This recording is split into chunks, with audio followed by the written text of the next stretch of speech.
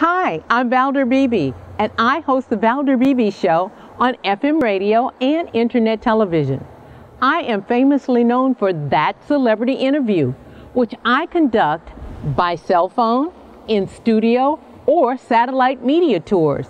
Go to valderbeebeshow.com, youtube.com slash valderbeebeshow, or our partnership network with Business in the Black, which is blacksuccessacademy.com, and click on the Valder Beebe Show channel. I'll see you there.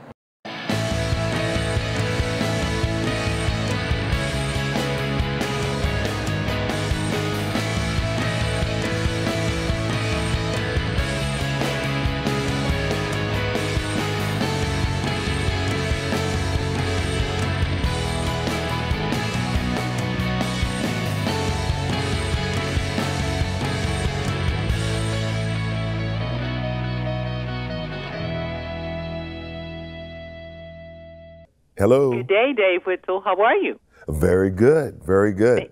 Thank you for joining us here live in Dallas, Texas on KKVI FM Oh. radio and the Valder Beebe Show. You want to tell us about going beyond?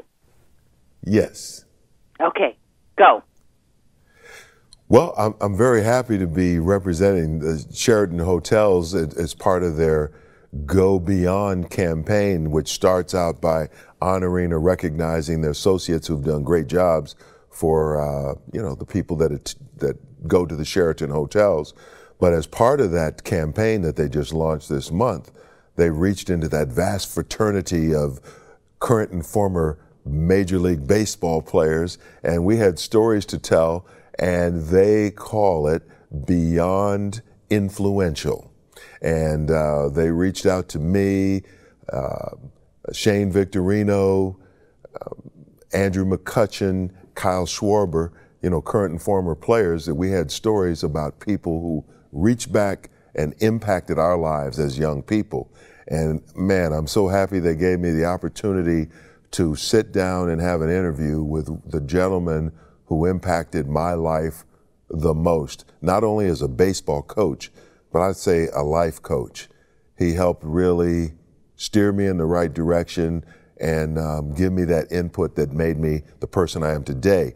And um, you, the public can go online and see these stories of, of, you know, the guys that I just mentioned. They can go to youtube.com slash Sheraton Hotels or the, the Facebook page for Sheraton Hotels, which is Facebook slash Sheraton Hotels, and see these stories unfold. I think you, you it might be a tearjerker. You'll have a smile on your face, and I was just so pleased that they they reached out and gave me the opportunity to do this.